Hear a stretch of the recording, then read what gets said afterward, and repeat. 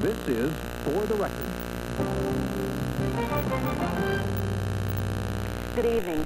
It has only been a few weeks since winter storms blanketed Alabama with snow and slammed a door on traffic throughout our state. It was during this unexpected bad weather we had originally planned tonight's broadcast. Due to the conditions, we were forced to reschedule tonight's guests and tonight's topic. With the Passover and Easter season comes also a time of increased caution along Israeli-Arab borders. Last month's increased violence in that region caused the death of more than 40 Palestinians and Israelis. This month, on April 20th, a peace conference is scheduled in Washington, D.C. Although there is still some question about who will participate. The on-again, off-again negotiations between the Arabs and Israelis is the focus of tonight's viewer call-in program. Arab-Israeli Peace Conference are representatives from both perspectives. Dr. Anis Salib is a professor of economics at Alabama A&M University in Huntsville. Dr. Salib received his doctorate in economics from Vanderbilt University. He was born in Haifa and lived in Palestine from 1933 until 1948. With the beginning of the first Arab-Israeli war, Dr. Salib left with his family and other refugees. He traveled first to Beirut, Lebanon, and later lived in Egypt before moving to the United States. Dr. Salib joins us tonight from our affiliate in Huntsville. Dr. Amnon Katz holds the Cudworth Endowed Chair in Aerospace Engineering at the University of Alabama. Dr. Katz is one of the country's authorities in flight simulation.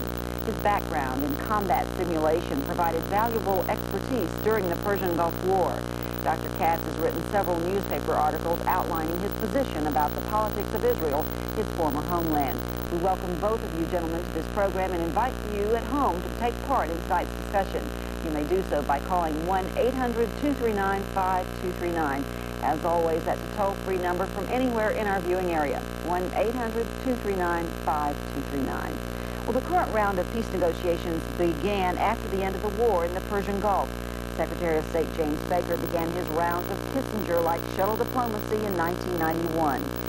And as we said, the next peace conference is scheduled for April 20th in Washington. But last month's violence may have changed the situation. As a result of the turmoil, Israel's prime minister closed the occupied territories. This action is preventing more than 1.8 million Palestinians in these territories from getting to their jobs.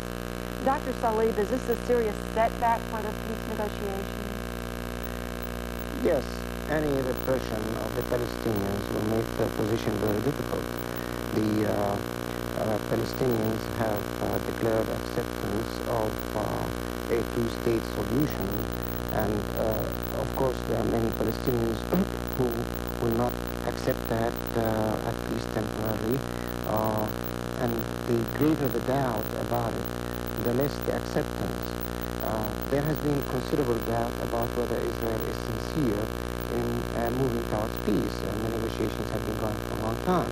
Now, if uh, uh, there is greater confidence uh, that Israel actually is going in the direction of peace, then there is likely to be less violence, at least on the part of the Arabs. On the other hand, as long as the repression of the Palestinians continues, many Palestinians believe that the Israelis, at least the Israeli ruling party uh, or ruling government, does not uh, intend to have peace. Dr. Katz. Well, I guess, uh, I suppose if somebody is enthused about these peace negotiations, then uh, I can see how you would have uh, grave doubts. And, uh, but but my, I look at it from the other side because I don't really believe that this kind of solution can be lasting peace. And therefore, from my point of view, I look at this as uh, a renewed attempt to partition Palestine. And in 1948, when the United Nations uh, proposed that plan, well, the, the Arabs opposed it violently and in my opinion, rightly so. And I'm very disappointed that they have abandoned this correct position and now are endorsing the partition of the country. And I'm afraid, uh, you know, the only thing which, which stopped partition from taking effect in 48 was Arab opposition.